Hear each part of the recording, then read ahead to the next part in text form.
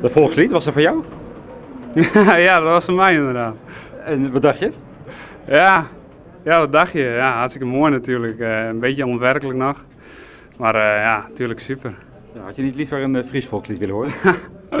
ja, ah, ja, dit is natuurlijk ook hartstikke mooi. Nederlands kampioen op de 5 kilometer. Snap jij het?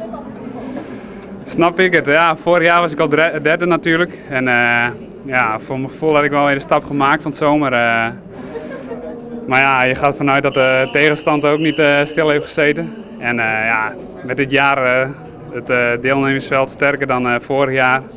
Ja, is het altijd even afwachten. Maar ja, dat is natuurlijk wel ja, fantastisch. Heb jij veel geleerd en afgekeken van Bob de Jong, je ploegmaat?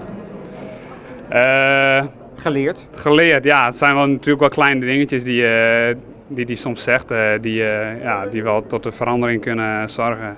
Maar ja, met 6 seconden je PR verbeteren hier in Heerenveen. Ja, ja zeker. Uh, maar ja, Jillet Ano heeft daar uh, ook een hele grote ja, uh, ja, invloed, invloed in, inderdaad. Maar de rest van de ploeg rijdt niet zo jovel. Nee. nee jij steekt er met je kop en schouder bovenuit.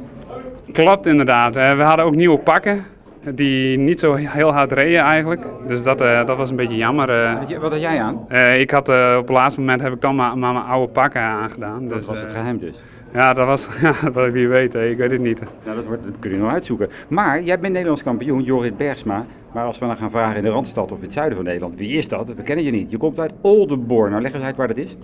Nou, het ligt hier een kwartiertje vandaan. Tussen uh, Heerenveen en Leeuwarden eigenlijk. Eigenlijk het centrum van Friesland komt er een beetje weg, midden van Friesland. Je bent op de fiets gekomen? het, het, had wel gekund, maar uh, ik ben een keer met, met de auto.